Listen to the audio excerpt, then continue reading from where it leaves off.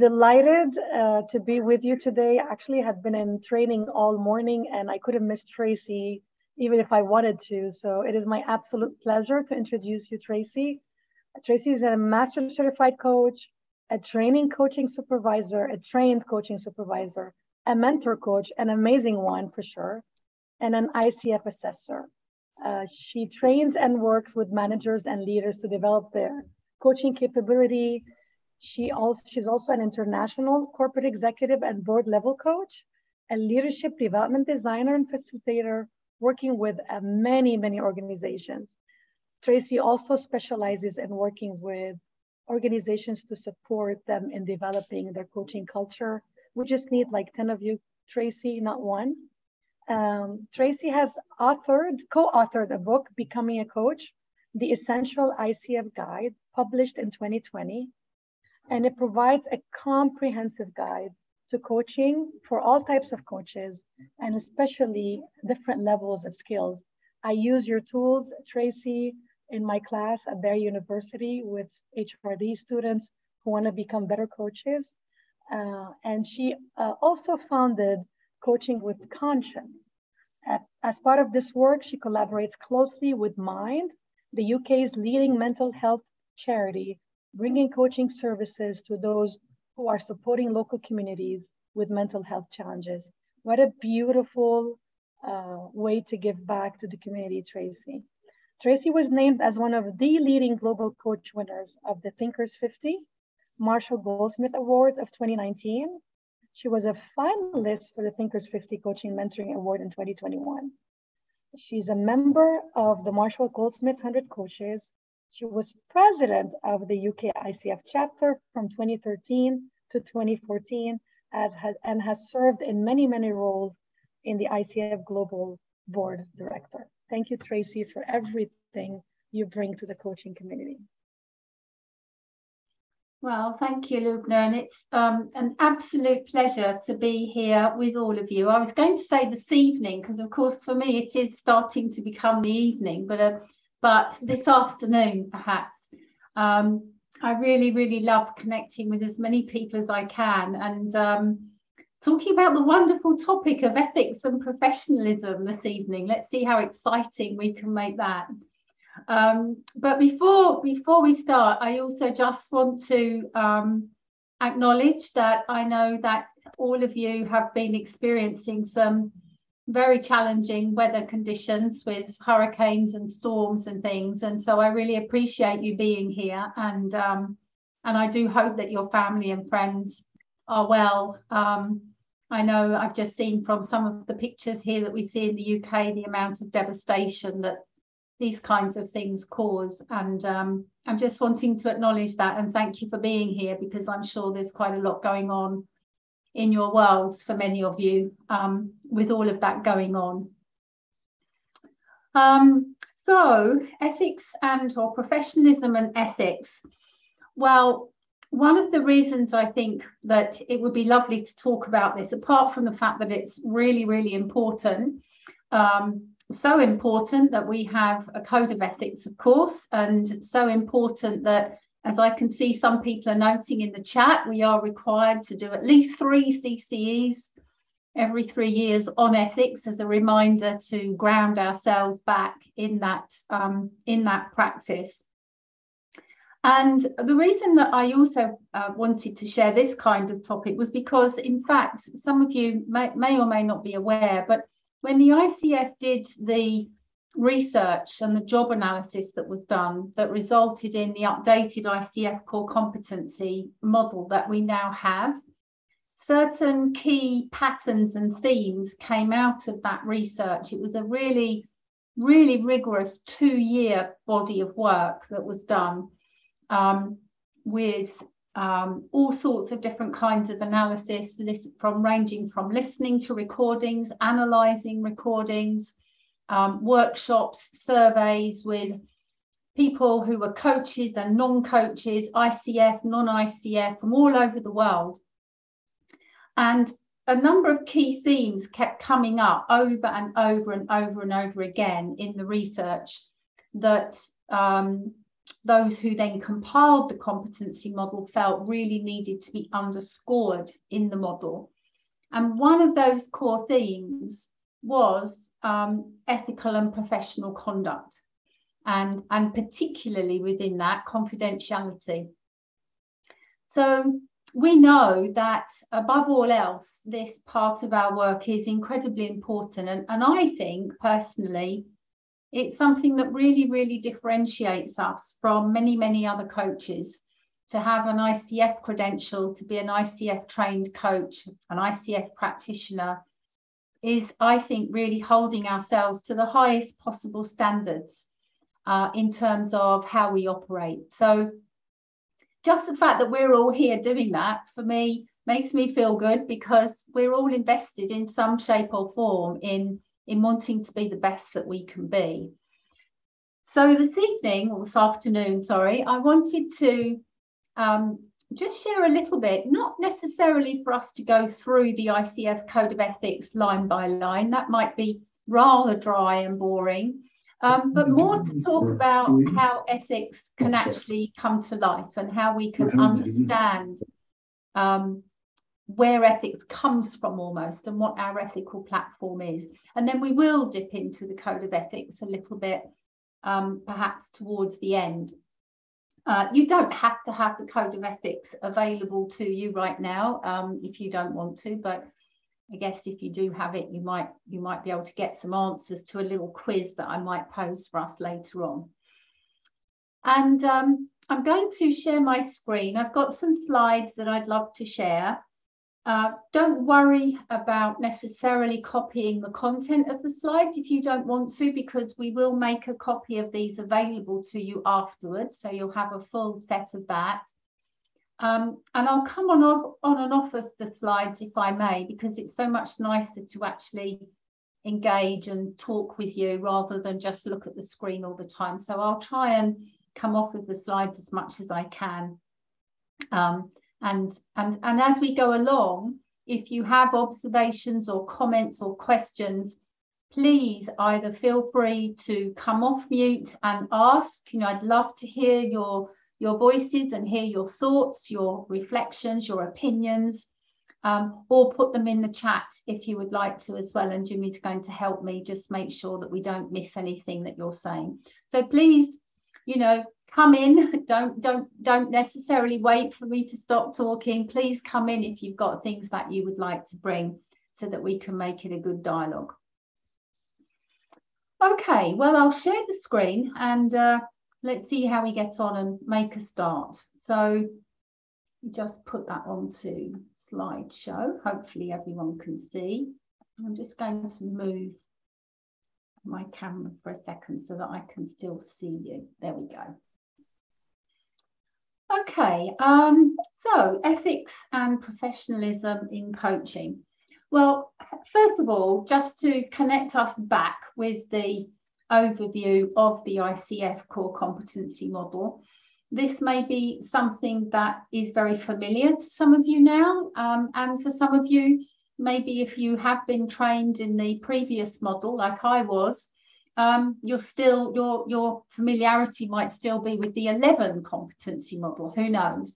But this is what we are working with now. This model was approved by the ICF Global Board actually at the end of 2019, in fact. Um, and the original plan was that it would it would we would have a transition year through 2020 and that everything would switch over to the new model so this model in 2021 and then that small matter of a global pandemic somewhat thwarted that goal and slowed everything down so we now have had the model much more available since um, pretty much a little bit into last year, but mostly into this year. And as some of you may be aware, as of August, the um, ICF credentialing application system has switched across now to this model. So any applications now received for ICF credentials are now assessed and reviewed against this model. Now, obviously, the model um, isn't, this isn't all there is to it. There are sub sub competencies sitting underneath all of these, but here you have the list of them.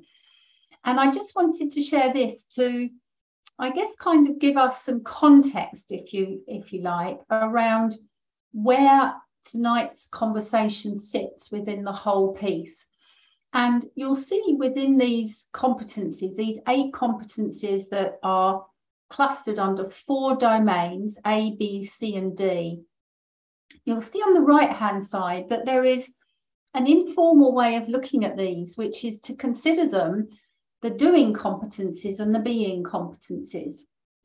And the doing competencies, which are three through eight, are typically viewed as the competencies that are associated with things that coaches do things they do, things they say, things they don't say, things they don't do. So, very much focused on the behavioral aspect of a coach.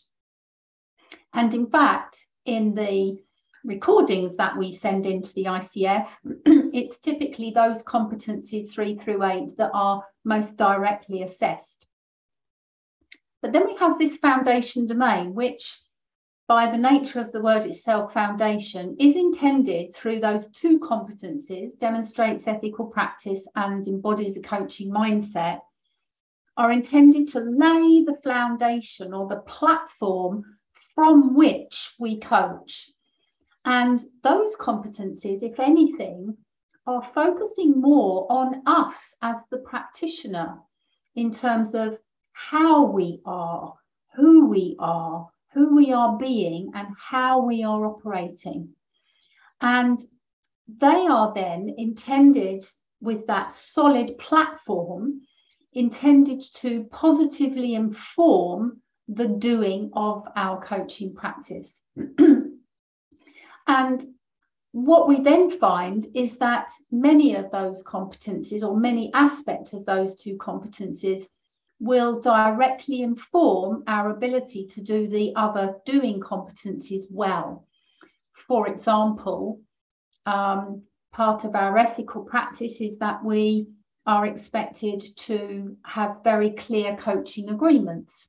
So, of course, in that regard, competency one fuels and underpins competency three.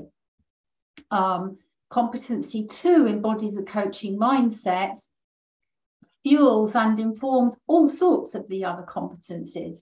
Um, it's very difficult to cultivate trust and safety if I haven't got an appropriate mindset as a coach or to maintain presence or even to listen well. So, my ability to really demonstrate these doing competencies is underpinned by these two foundational ones. And the one that I'd love for us to focus on this evening is really embedded within competency one, demonstrates ethical practice. So we're not necessarily going to be going through that competency per se in detail, but we are going to have a look at it and really think about what are the ethical and professional considerations that are contained within it. So, and I'm just noticing, Jimmy, because I'm on screen share, I can't see the chat so easily. So if you do see anything coming in the chat, please feel free to tell me. Will do. Okay. So this is competency one, demonstrates ethical practice. And all of the competencies in the updated model, if you haven't seen it, they're all very consistent in their structure. They all have a title and the beginning word of every title is an active verb. And then they all have a definition and they all have a certain number of sub competencies. And there are certain words that are really um, useful to think about in terms of really words that have been very deliberately chosen. Because once again, with the research that was done to create this model, literally every word of every sentence has been chosen for a reason. And things like, for example, understands and consistently applies. We'll see quite a few times in the competency model things like ongoing, maintains, and consistently. And these are all really intentional words that demonstrate that this is something that is intended to be part of our general practice and our general way of being, and not only when we're with a client. So, both competencies one and two speak more broadly than the scope of one, one coaching conversation or one client engagement. And then what we actually have within this competency are, in fact, many elements that are then repeated elsewhere. And it's in a way, for me, this competency is really underlining or underscoring the significance of these points that are referred to here, these seven points. And they are very much repeated in other places. So, for example, um, talking about personal integrity and honesty is quoted in the Code of Ethics. Um, being sensitive to clients' identity, environment, experiences, values, and beliefs, for example, comes up in three or four places in other competencies. Um, use of language comes up in other places. And then, of course, we've got reference to the Code of Ethics and the core values themselves. And then again, with confidentiality, maintaining distinctions, both of those things are highlighted in the Code of Ethics, um, as is number seven when we refer to other support professionals. So, in some ways, this competency doesn't tell us something that isn't anywhere else. It's almost pulling together things that are already in the values, already in the competencies, already in the ethics, and really just underscoring them to say this, this is what we mean by ethical practice. And if we go to um, the actual overview of the Code of Ethics, as I said, I'm not necessarily intending to to go through it line by line, although I do have my copy here with me in case anyone does want to dive into some of the granularity of it. Um, that's that's entirely up to you. But um, just to ground ourselves in the in the structure of it, we have also at the same time that the ICF core competencies were being reviewed, the ICF Code of Ethics was also being reviewed, and it was just serendipity, I think, in a way, that both of those initiatives were launched and ran alongside each other, which meant that both documents, uh, updated documents, were released into our ICF system around the same time and are therefore cross referenced quite well. And the Code of Ethics has these five key areas there's an introductory part that really just sets the scene around why ethics is important to us um, as ICF coaches. And then there's also a piece on key definitions, which I think is really useful, um, particularly when it comes to things like confidentiality, conflict of interest, etc. So I would really encourage you to um, you know, when you have a moment with nothing else to do, pull out the code of ethics and just have a little look through to just really familiarize yourself with some of these definitions and what they might mean for you. What we also have now, which we didn't have in quite such an explicit way as before, is that the Code of Ethics also then puts its arms around the ICF core values. And yet again, they are also something that were worked on and, and refreshed and upgraded.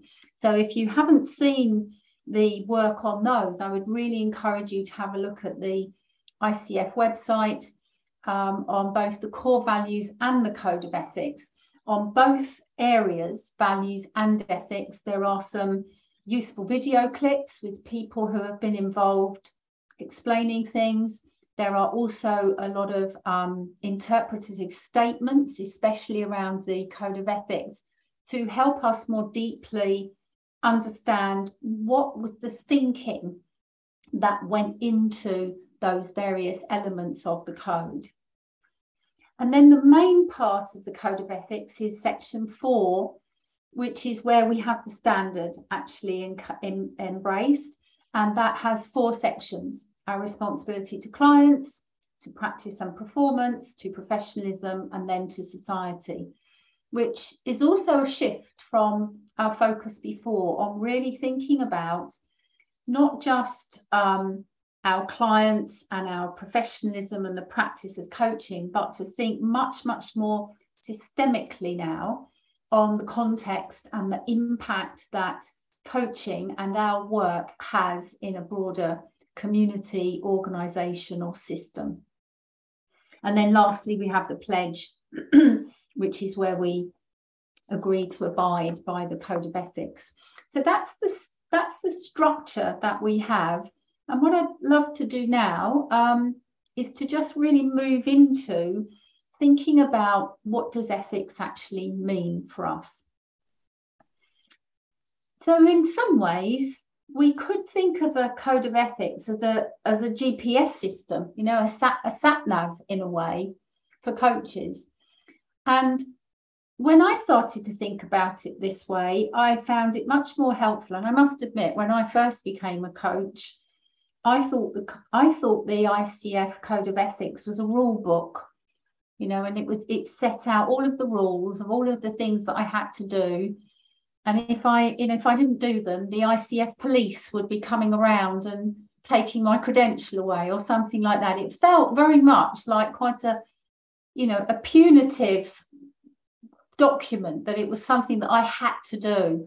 But when I actually started to get involved in, initially in, in ethical workshops, when I was um, on the board of the UK ICF chapter, I suddenly realised that actually this isn't this isn't a rule book or something that we can be policed on.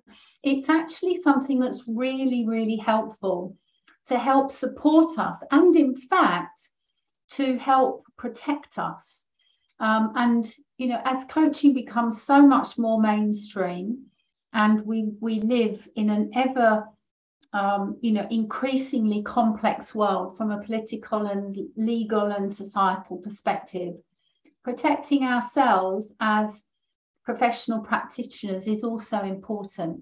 So I would really encourage you to think about how could this document actually be something that isn't only a resource to you um, and a guidance to you, but is also something that helps protect you from challenge, from misunderstanding, um, and from any of the you know unwelcomed complexities that can come from from those kinds of misunderstandings part of what is included in the code of ethics is honouring the core values. And you may have seen that we now have these updated core values of professionalism, collaboration, humanity, and equity. And these values are also highlighted on the ICF website in a lot more detail to give you um, explanations and a breakdown of what each one of them means and with examples of how we might be demonstrating them. So once again, part of our reflective practice, a really useful part could be to have a look at some of those core values in a little bit more detail and also think about how do they align um, with our own core values? How do they align with the values that we want to uphold? Um, and I personally have found, in if I'm being completely transparent, um, some of these values, when I look at them in detail, I think, yes, you know, absolutely, I can do that with absolute congruence and alignment. And then some of the things in the ICF core values challenge and test me because I'm not always so good at them. Um, and I can give you one example, which is in humanity. Not that I would like to think I was inhumane in any way, um, but part of the subset of the humanity value talks about us being kind and compassionate, um, including to ourselves that we are not perfect. And as someone who is a recovering perfectionist, shall we say, that's that's not always easy for me because I'm not always as compassionate to myself as perhaps I would like to be. And so honoring that value truly um, is something that is part of my own personal growth. So I, I would really encourage you to have a look at those and think about which of those are second nature to you, that you live and breathe comfortably, and which of them do test you in some way, and, and, and how do you feel and think about that, and what might you want to do? Ultimately, good reasons, I think, to have a code of ethics is really to honour ourselves and our clients. And I've always felt myself very proud to be part of the ICF and proud to have an ICF credential. Um, the ICF credential is by far the most recognised credential all over the world. And I believe that part of that is because of the ICF's rigour. The ICF credential, I think, is probably one of the hardest to get in the world in terms of professional bodies. Um, and that means that every one of us who have done the work and continue to do the work to go towards those credentials and get those credentials, I feel can really hold their heads high as, as someone who is investing in professionalism and abiding by that code of ethics. Therefore, I feel can enhance your credibility um, because of the standards that you are applying, because of the consistency of your practice and the clarity of expectations that comes from the kind of contracting and establishing agreements that you do. And having the code of ethics protects all of us, ourselves, our clients, the organizations and systems that we work with. Um, and really is identifying or highlighting how we want to adopt best practice wherever we can. And in many cases, it's very useful. I don't know what, what kind of practices you're all having here, but it can be very, very useful to make a reference perhaps to the code of ethics in your coaching contracts. I know some coaches um, attach an appendix of the code of ethics to their contracts. Some people like to do that. And some people maybe put a hyperlink to the code of ethics in their contract, um, just so that clients, if they want to have a look, will, will, will know where to go. So let's then have a look, and I'll just share this next slide and then come off screen and check in with some of you. I'd like to think about for a moment what is it that actually informs our own code of ethics? You know, it's one thing to have a code that's given to us on a paper, on a piece of paper or on a document by the ICF. But what does what does ethics mean to us? What are the roots or the sources of our ethical practice or our ethical conduct? So I'm just going to stop the screen there for a moment. I'd love to just see if there are any um, any thoughts on that, any ideas on what it is that informs your ethical platform? Chris, I can see your hands up. Please do come in. Thank you very much. Um, for me, personally, it would be my morals and my values that are my roots to, to keeping ethics. Yeah, so morals and values, absolutely. Um, and it's interesting then, isn't it, how we see that the ICF Code of Ethics has partnered that document with the with the values as well. Yeah. What about anyone else? Is morals and values relevant for you? And, and maybe where do where do some of those morals and values come from? What informs the morals and values? Any thoughts on that? I think for me, it's my um, my life experiences, um, my culture, I guess, in a way, um, how that uh, how I perceive that and how I learned from that, or um, or maybe yeah, that's that's kind of how I think about it. Yeah, thank you, Shakti. So definitely things like our life experience, how what kind of life we've led, um, and also the culture that we come from, which could be family culture, but it could also be an industry culture, couldn't it? You know, our, our ethics could be informed by the organizational culture or industry culture that we've spent many years in, perhaps. Yeah. Iris, I think you were going to maybe bring something in as well. Did you want to come in? Yes, I would agree with that. Certainly, my values come from my culture and my family of origin. I'm glad to say, and from my uh, many decades of experience in the social services field and other life experiences, certainly. Mm. Yeah, thank you. So you, you give a lovely example there of your experience in the social services field. So there's a, a sector, isn't there, that you've been immersed in that has informed who you feel you are as a professional. Yeah, that's Absolutely. a great example. Yeah. Anything else? Any other thoughts on what informs your ethical practice? Or your ethical roots, as it were? I I think for me a big part of it is professionalism. Um, in the sense that because it's an unregulated field and there's so I think so much um, opportunity for misconception about what coaching is that for me it's really important to just show a high standard of the dependability and the value and wanting to um, be an example of that to promote that mm. Yeah absolutely so professionalism and and where where does for you melissa what where does your sense or your value around professionalism come from do you think that's a great question. So that's what I was trying to come up with the answer to that before I spoke. Uh, and uh, just to, and, uh, pride in what I do, I think is what it is, because it's a reflection of myself as well for me, and just being um, respecting others and wanting to provide that type of um, connection and just um, you know, with many of us in our businesses, our face is our business, right? So in yeah. that sense of how does that how is that demonstrated? And we demonstrate through example um, and how yeah. we um, interact with our clients.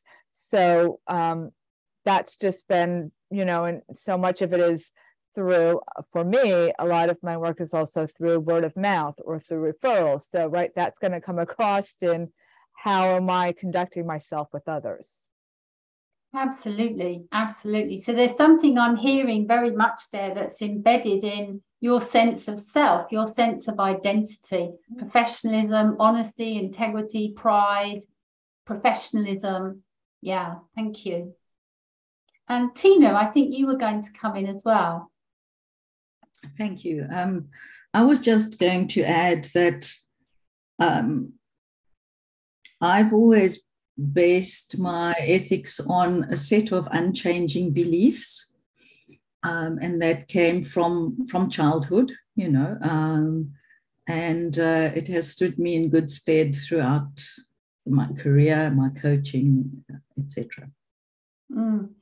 Yeah, thank you, Tina. So we see here how some of these roots can come from very early on in our lives, can't they? From childhood, in our formative years, that are morals, values that stay with us forever. And, and whether we're conscious of it always or not, they are informing everything that we're doing.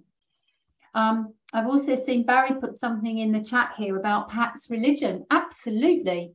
So, our spiritual um, practice, our religious practices or beliefs, and the um, and and the experiences that we've had with that are also going to inform our code of ethics. So if I share the screen again, you'll see some of what you've been um, bringing in and, and a few other ideas. So let's have a little look and see what else we can um, we can bring into this. So I don't know if, how easy it is to see all of these words here, but I'll call them out. And as I say, you will get the um, you will get the slides afterwards. But these little bubbles around the um, outside here are all examples of different types of sources potentially of ethical practice or ethical um, foundation, if you like. We've got family, which we've thought about. Um, we've also got religion, which was said. We've got culture consequences is this little tiny one here is part of our ethical decision making could be driven by the consequences of doing or not doing something um, we've got our values which has been shared we've also got the social groups that we are part of friendship groups, social groups within our society or our um, social circle. Socioeconomic factors can influence our ethical platform, our ethical stance. Even geography of where we were born or where we live.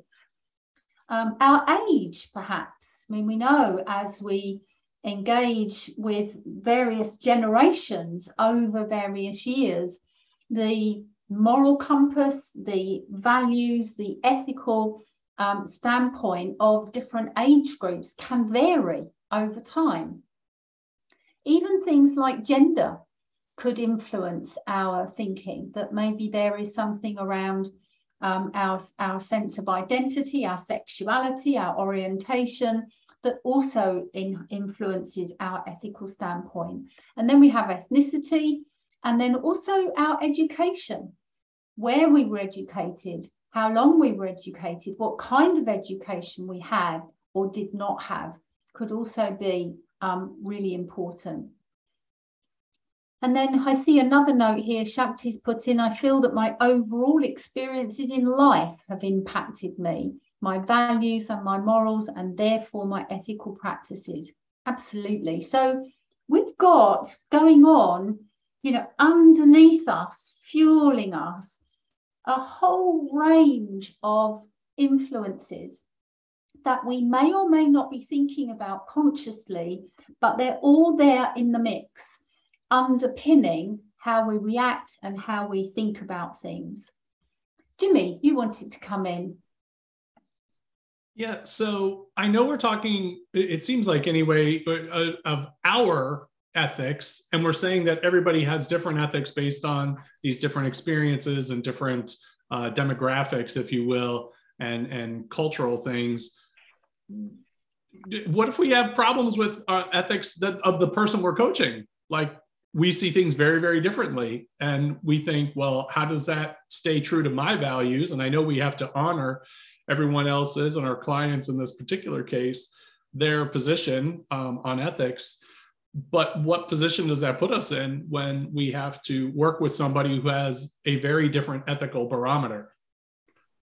Yeah i just stopped sharing so i can see you properly while we're talking about that. What a what a great question. Someone else said great question there um, i mean i do have some thoughts about that but i'd love to hear if anyone else would like to share you know what happens then when our ethical platform is contrary in some way to the ethical platform of the person we're coaching. What do we do about that? That's a tricky one, isn't it? Come on, somebody help me. Um, I'll, I'll jump in. This is Tony. Did I interrupt? Go ahead, Tony. Okay. So um, that is a really great question. And I guess there would be, I would have two maybe responses. One is if I'm not coaching their ethics, in other words, if I'm coaching a, a situation they brought to the table, then I can maybe not get involved in that if I can separate myself from that and if I can't separate myself from that, then I would have to maybe refer them to another coach. That would be the only responses I could I could think of. Mm, that's a great a great perspective, Tony. So the extent to which I can separate myself from that, and I guess stay stay clean, stay neutral, stay objective, stay present, all of those things. Yeah. I can appreciate the position, Tony. I'm curious. Um, in you said that you might refer them to someone else. How, if this person has objectively questionable ethics, who would you refer them to? I wouldn't want to dump that on somebody, a friend of mine, a, a, fellow coach. And I'm not saying that, you know, to be combative. I'm just like, I agree. I think, you know, referring them to a proper resource is, is certainly a, a better option than dealing with it yourself. Um, but my goodness, how, how do I now, how do I tackle that one? Well, I guess my answer to that would be for me, um, it could be just a cultural, you know, difference, and and that would be easy for me to to probably separate. If it is like, you know, I don't know, like if they're if it's against the law, then I wouldn't refer anybody probably except well, that's an that's an ethical question because then what do you do? Like, do you turn them in or like, right. Yeah. Yeah. If it's a gender thing and, and it's something that I can't get, then then I get it or a, a, cultural thing for sure. But yeah, if it's a, if it's a legal issue, then that's a, a whole different thing altogether. I refer you to the police. yeah. I would also consider that if it's not a legal um, issue, um, that at the end of the day, it's for each coach and client to make their own decisions. And so I think if if I would ever make a referral, and I've not realistically been in this position, but if I were to be in that position and make a referral, um, I would refer several people and then just let let things fall out as they as they will. Kind of trust trust that people have it have their own capability to decide whether they do or don't want to work together because whatever you don't feel comfortable with for whatever reason someone else might have absolutely no issues with and but that's for them to decide. Yeah absolutely. So in some ways you know ethics ethics and the law are not necessarily the same thing are they? Something could be legal but someone might not necessarily perceive it to be ethical um, and it's interesting because the code of ethics um, gives us guidance in both ways here. And it's a little bit about finding that that middle ground that i think tony was exploring is that the, the ethics says on the one hand and i'm referring to item number 25 here and in, in case anyone wants to have a look at it afterwards it says that we we avoid discrimination by maintaining fairness and equality in all activities and operations while respecting local rules and cultural practices and then it goes on to outline various elements of um, discrimination. It says this includes, but is not limited to, discriminations on the basis of age, race, gender, expression, ethnicity, sexual orientation, religion, national origin, disability, or military status. So we are encouraged as coaches to be as adaptable and as flexible to meet other people as much as possible. Uh, and there is a point at which maybe our own value set or our own ethical platform means we can't meet them you know, as, as Tony was highlighting, at what point can I not put it aside? And then there's another element of the code that guides us on that, that says that we should remain alert to indications that there might be a shift in the value received from the coaching relationship. So if my ethics and my values are so contrary to the other person's, that I am not able to be present. I am not able to hold them with unconditional positive regard.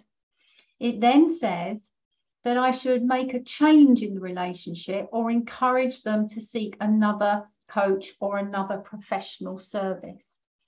So we're, we're sort of having to navigate those two elements, aren't we? On the one hand, we're being invited to be as flexible and as adaptable, open and inclusive as we possibly can in society.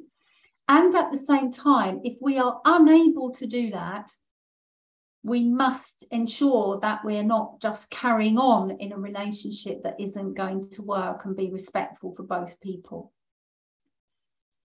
Shakti, you've got your hand up and then we'll maybe move on a little bit. Yeah, and I think maybe the way you just ended what you said answers this question, but if you could clarify. Um, so if you do, in fact, from a personal values and ethical perspective, um, have an issue with someone, but you haven't yet initiated the coaching process, and at this point you would like to hand it off for that reason, but that reason in and of itself then becomes maybe the basis of what somebody might call discrimination, are, are you then not honoring the ethics of the ICF and or are are you honoring it by virtue of recognizing that and stepping away from the opportunity to do that coaching? Mm. That's a that's a double bind question, Shakti, isn't it? Because in some ways, if I go ahead, I'm honoring the inclusivity element and the non-discriminatory element. If I don't go ahead, I'm honoring the part where I'm acknowledging that there may not be so much value in the relationship. So I, I, don't think it's a I don't think it's necessarily something that we can answer as a general principle. It would be something that would have to be explored case by case by case, which is why ethics is a grey area. You know, there's very little binary it's definitely this or it's definitely that in ethics. It's a very grey area because of the fact that we all have these different perspectives. So, and also with our values, our values, if we look into sort of the, the, the, the psychology and the theories behind values, our values have hierarchies. So some values are unchangeable for us. Some values we'd almost you know give our life for kind of thing. And other values we are prepared to flex on. So we're only talking here about when there is a contradiction between us that we feel is impassable and and i would i would personally encourage any coach if we are faced with that situation rather than just make a decision ourselves would be to seek some input you know, to, to discuss it confidentially with trusted colleagues, perhaps work with that. That's a beautiful supervision topic for anyone that's in coaching supervision to take to a supervisor to work through um, what our stance and our thoughts are um, rather than you know make a rash decision. But it's it's a it's a tricky area. It is a tricky area. Yeah. Thank you. Okay, let's go back and have a, another look at a few more elements then, and then we'll pause again and have a bit more of a discussion. I love it when you're bringing these questions and observations. Um, so really what we're looking at with ethics is uh, hundreds and hundreds and hundreds of pairs of glasses that could be worn you know and every single one of them has a very slightly different shade of red shade of blue shade of green whatever it is and so ethics is all about perspective. It, the law outlines what is right and wrong, but ethics is not the law. Ethics is about opinion and perspective and the perspective of best practice. And of course, my perspective might be very, very different to the other person's perspective. And so this is where discussion, exploration, and eh, you know debate almost is really really important and to, to look at the difference and try to work through that rather than that difference become a barrier. And one of the things that we know is human nature to do is to do something called rationalization which i'm sure you've all heard of which is where because of our values, because of our beliefs, because of our ethical platform, we will rationalize things in order to meet our view of the world, in order to meet our perspective. It's a very human, um, you know, very typical human nature thing to do. And just for a bit of fun, these are maybe just a few examples of how someone might rationalize something thankfully none of these are me um, but you know the person who's in the the top left hand corner there when they were having their night out with their friends and feeling very high on the amount of beer that they drunk at that time probably thought that you know hugging and drinking eight pints of beer if that's how many there are there was a really good idea was a really fun thing to do but Perhaps whether they woke up thinking it was a good idea the next day is another matter. Um, I'm now seeing, I don't know if you have these in the US, I'm sure you do, but in the UK, one of the most popular programs nowadays is called Tattoo Fixers, which is where people have had the most incredible tattoos put onto their bodies in some crazy, I don't know, drunken party on a holiday and then come back home and thought, oh my goodness, what on earth have I got, you know, written on my body? So we're all very capable potentially of doing things, saying things in the moment because at the time we think it was a good idea and we rationalize that behavior in the moment. When in fact, when we look at it in retrospect, it perhaps wasn't the best thing to do, which is why when there is any kind of ethical dilemma, ethical query, or niggle that you're having, the, the best rule of thumb I could offer is slow down, wait, think, consider, consult, rather than jump to an immediate decision. Because usually there is more to an ethical scenario than meets the eye. There's, there's normally more information than perhaps we are aware of. So I'm wondering what might be some of the kinds of rationalizations that we, you as coach practitioners, could come across.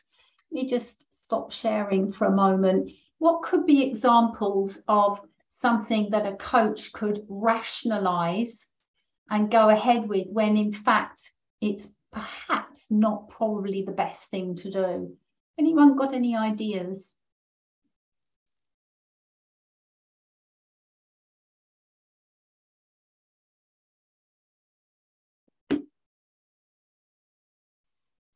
I can give you one while you're thinking, if you like. I was working with a coach. Um, I'd been, I'd trained the coach um, on one of their modules. And when they then finished their coaching training and set up their practice, they came back to me um, for some coaching supervision, a session later on.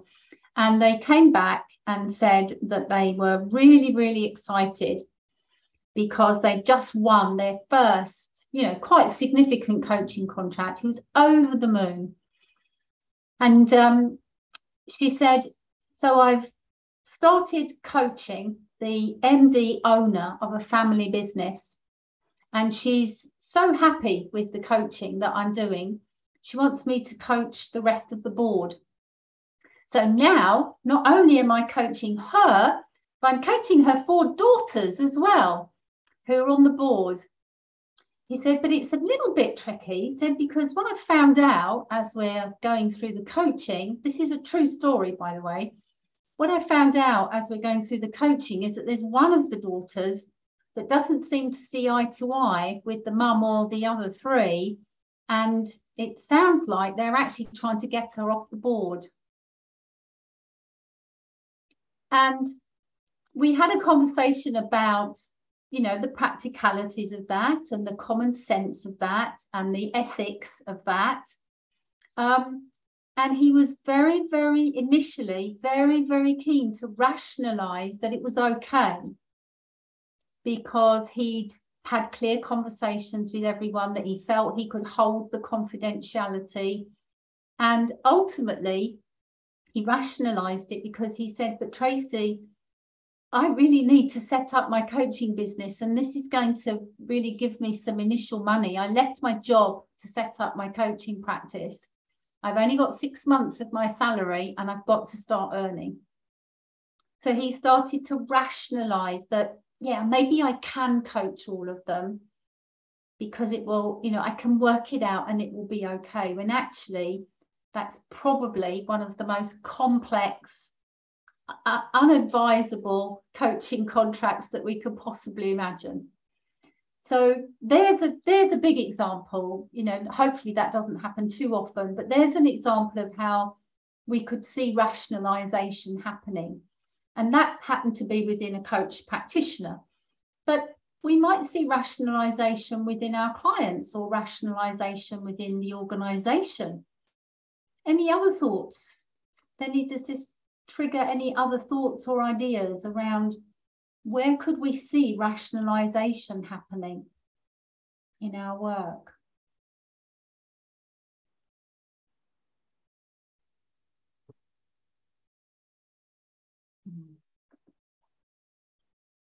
Uh, I'd like to share, if I may. Go um, ahead, Tina.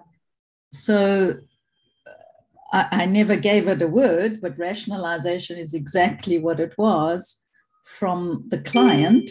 Um, I'd been asked to coach someone who um, was being groomed for, for a C suite position.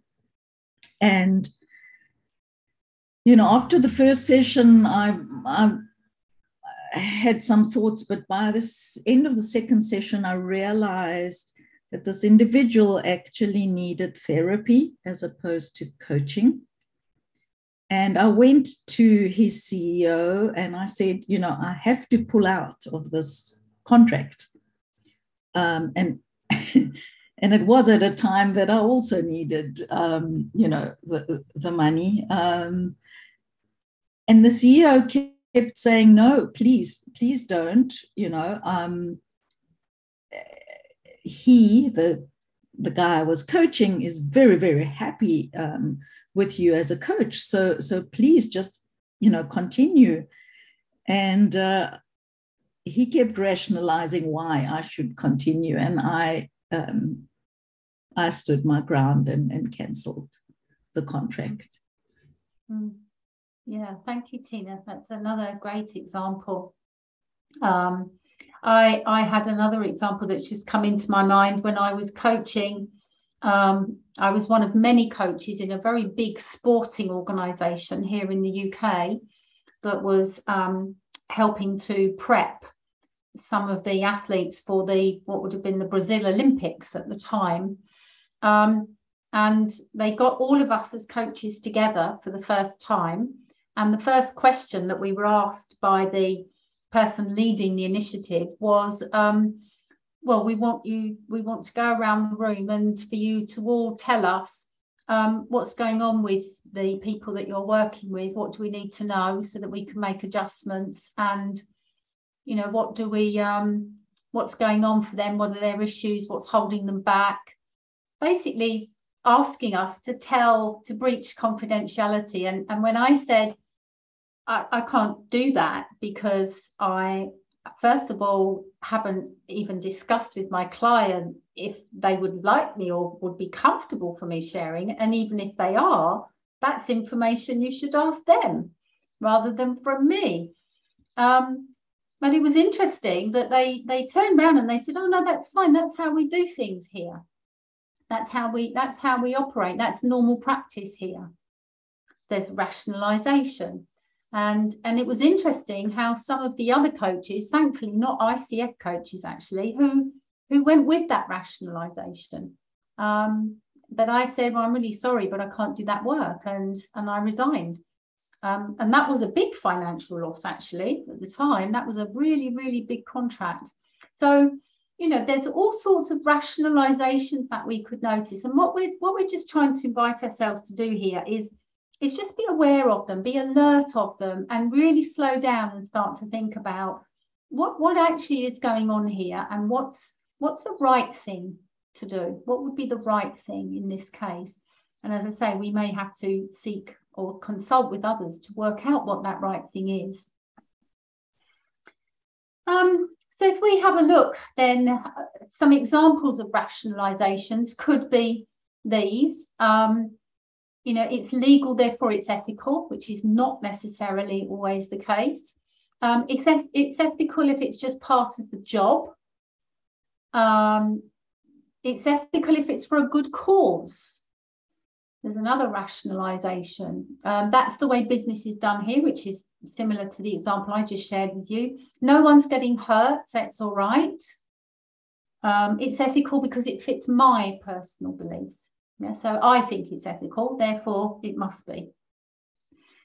So just a little note then to just be aware and alert of what kinds of rationalizations could be invited and how might we Um, how might we take care of those? Um, and Shakti is saying here, thank you, Shakti. Ultimately, I will have to consult and explore various values when difficult situations come up, and the decisions I make will influence me and my practice as a coach. I have to recognize the consequences, and I also allow that to influence my decision. Absolutely. So we're pulling on a wide range of um, factors when we are um, considering an ethical query, which is why, again, we really need to slow down and think. Um, and I've got a little model for you around ethical decision making in a moment.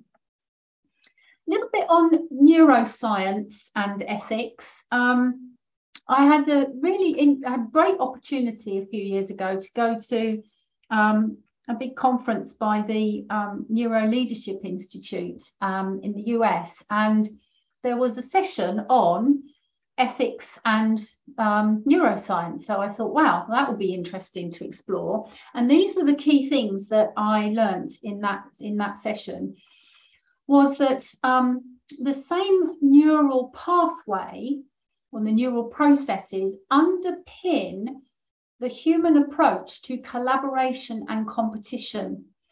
And so they are always going to be naturally in competition or, uh, sorry, in attention for human beings.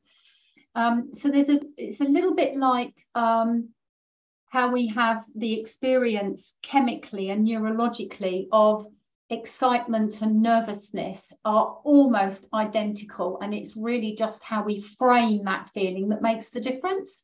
And it's the same kind of thing with the neurology that underpins our desire to collaborate or compete. They are really, really close together neurologically. And so we could very easily go one way or the other. Um, empathy can increase our ethical behavior because of similarity. So rapport and empathy can make us feel more ethically aligned with someone, more, more likely to want to be ethical towards them. But at the same time, it can also increase our unethical behavior towards people outside of a group. So we have this idea so, of social groupings of the in group and the out group. And we can, you know, in society feel that we can behave more ethically to the in group that we're in and less ethically towards those who are in the out group. A sense of distance can also increase unethical behavior. We have this phrase, don't we? Out of sight, out of mind. Yeah, we distance ourselves from something emotionally, physically, through time, and over time it can um, you know it can sort of increase our sense of the rationalization and therefore the unethical behavior. Um, dopamine as we saw with our beer drinker in the picture just recently um, on the previous slide dopamine can increase unethical behavior. So when we are you know very very high or, or we have a dopamine uh, rush for whatever reason that can have a, a slight link to more unethical behavior. And also, as we've already seen and discussed, our values, our moral compass will influence how ethical we are. And research shows that those who take time to work through ethical dilemmas are more likely to act ethically as a result. So we, we know this neurologically that slowing down, gathering data, seeking input, taking our time to consider various options is going to lead likely to much more ethical behavior um, than if we were to just have a, a knee-jerk reaction. Looking then for a moment at something slightly different, I'd love to just um, draw our attention to a couple of other aspects of ethics and one of those is actually in the agreements, in the coaching agreement. So this links to the Code of Ethics and Competency 3. And the ICF um, have now identified within Competency 3 three levels of agreements that we are expected to um, work with our clients on agreements for the relationship itself or relationships and how we will work um, together. Also, agreements for the overall coaching plan and goals that for a whole package of work, and agreements for specific session goals and objectives.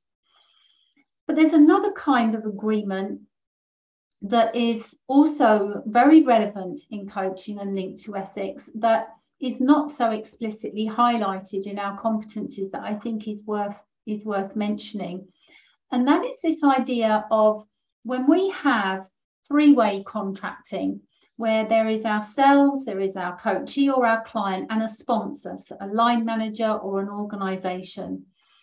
We have a concept here that comes in that is called psychological contracting, which may be something you are familiar with. And this is really where we're, we're looking at what is the unwritten or unspoken contract between us in terms of how we really feel and think about each other. Because that is where some of the ethics can be can be rooted. Um, for example what we probably want to have ideally is a triangle a little bit like this that is hopefully some kind of a equilateral triangle where the psychological relationship between all three of the parties is equal, open and equal and transparent. But sometimes we can have a situation where one of the corners of that equilateral tri triangle gets pushed or pulled away from the other two. And just to share maybe a couple of examples. If we look at these four here, in the top left hand corner, this is the this is the kind of triangle we would like. It's balanced.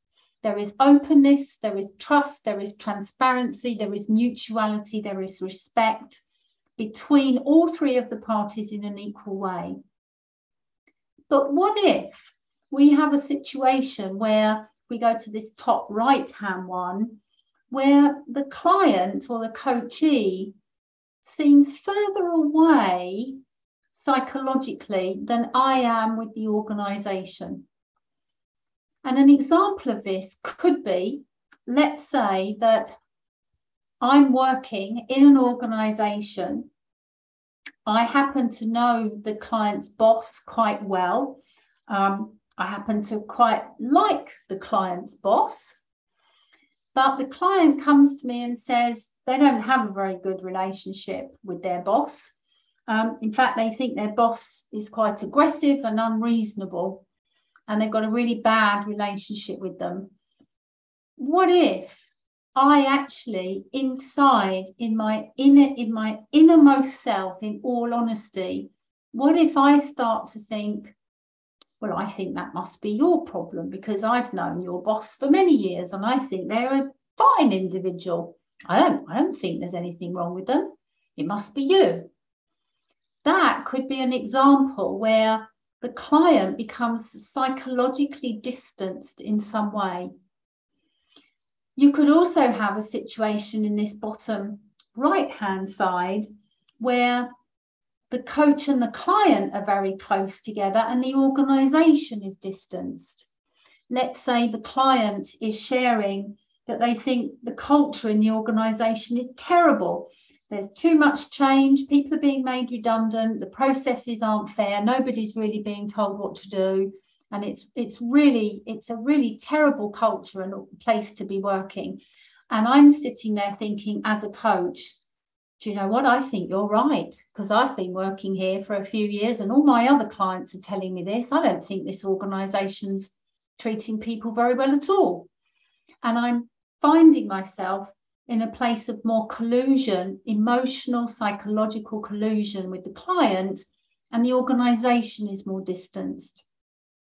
And then we could have a situation in the bottom left hand side here where maybe I'm the one that's being pushed away, that maybe the organization and the client are feeling very tight together, and I'm the one who's feeling marginalized. Perhaps an example of that could be where the client is saying to me, Well, Tracy, I know you're a coach, but I, I, I welcome your perspective and I'm expecting you as a coach to give me some ideas and to give me some resources and to actually give me something that's valuable and tangible that I can take away and do. And the organization is saying the same. And what if the coach is saying, but I'm not a mentor, I'm not a consultant, I'm a coach. And so the organization and the client are saying, well, you're not, you're not part of our psychological contract. So just wondering what you think about this idea of psychological relationship. I'll just come off the off the screen there if that gives rise to any observations or questions. The unwritten psychological contract. Barry, did you put your hand up there? And Claire as well.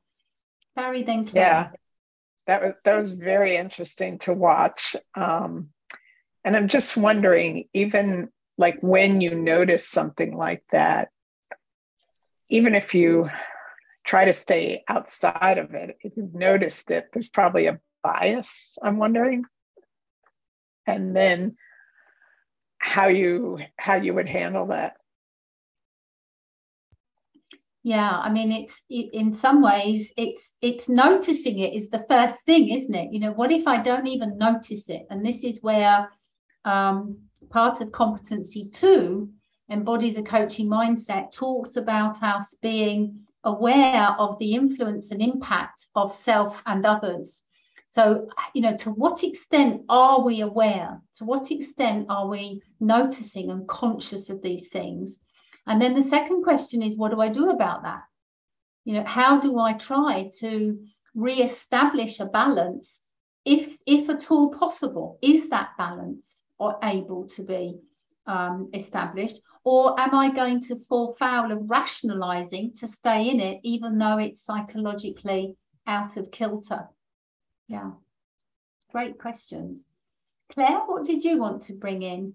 Uh, yeah, you know, if you think about a coaching relationship, right, and with a stakeholder, with the organization, um, the touch points with the organization or the stakeholder are much fewer, are, are fewer than your relationship with the client. And so for me, as I looked at all four of those pictures, the one at the bottom left actually seems more correct in a sense because I am establishing a closer tie, a closer connection with the client. It's confidential. There are things that we say that are, that are not shared the actual things that are shared are only the client stakeholder. So for me, it seems that that model is more, would more be in alignment with how I think about the coaching agreement as opposed to the uh, equilateral triangle. Yeah, thank you, Claire. I really love that perspective actually. And I I I, I agree with you that you know, we will have probably, won't we, a closer psychological connection, a closer emotional connection with our client than we may do with the organization, if for nothing else, because of the amount and depth and intensity of contact um, and our confidentiality. I think what this is intending to highlight is at what point does that tip into me feeling a collusion with my client against the organization.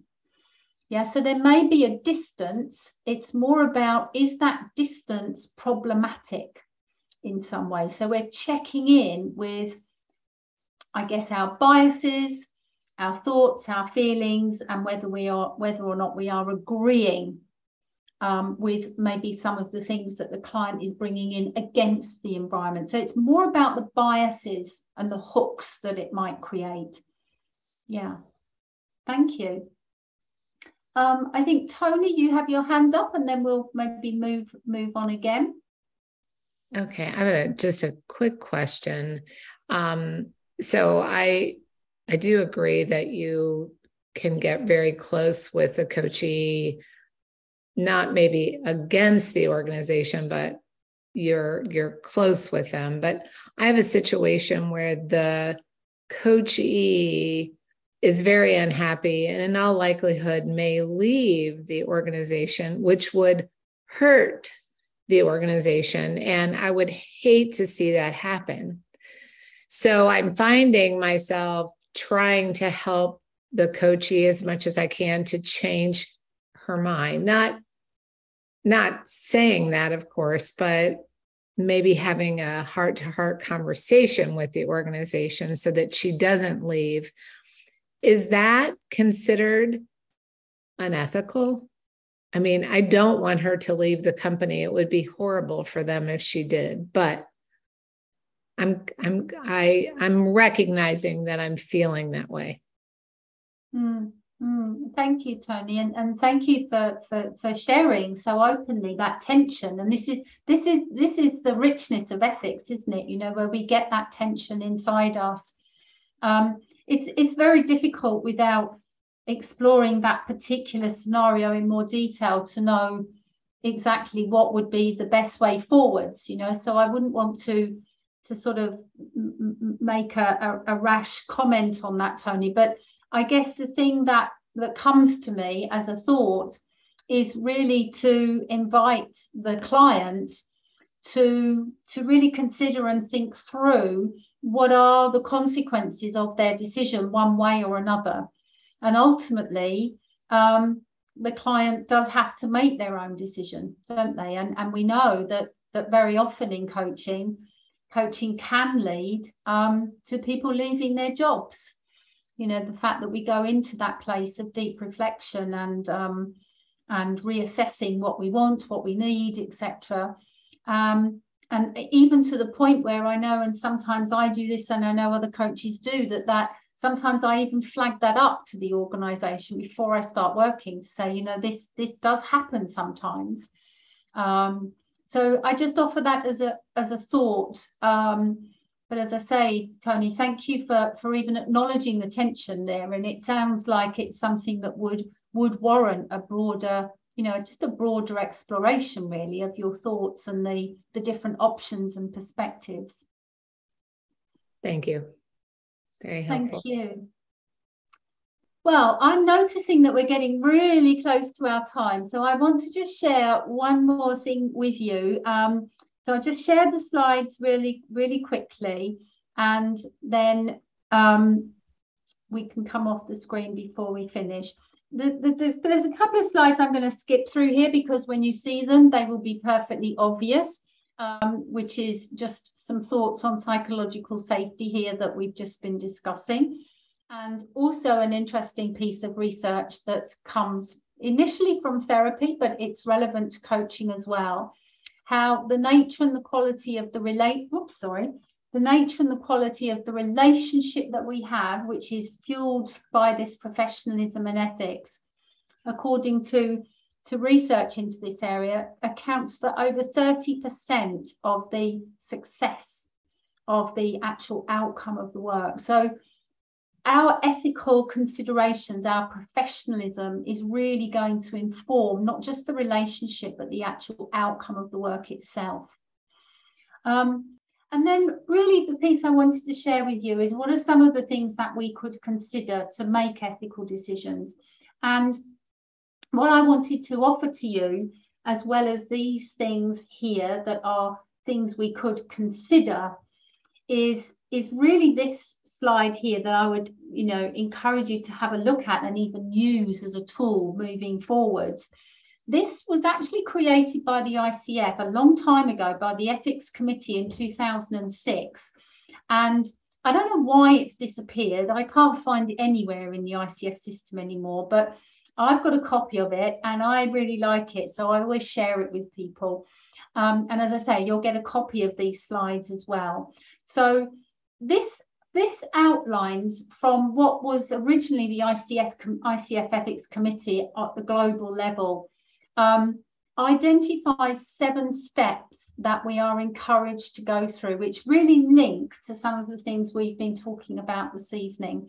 So the invitation I would leave you with is when you do have an ethical dilemma, um, maybe take this out, try and follow those steps, slow down, consider, get some input, gather the facts, and really think through what could be various options um, and their consequences rather than us just going to that knee-jerk reaction which so many of us you know can find ourselves doing so i'll stop sharing there i'm really mindful we've got probably a few seconds left um, but i'll hand back to to jimmy or lubna to um, just say a few words before we close Thank you all very much. Oh, thank you, Tracy. That was fantastic. Um, it's always good to get an ethics, uh, a deep dive into ethics, and this was uh, this was a great one. Um